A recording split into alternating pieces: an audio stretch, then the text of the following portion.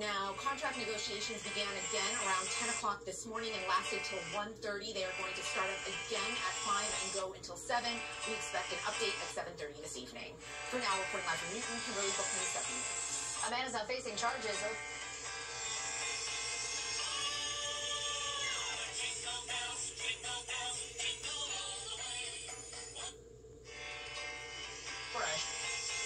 Shootout at the...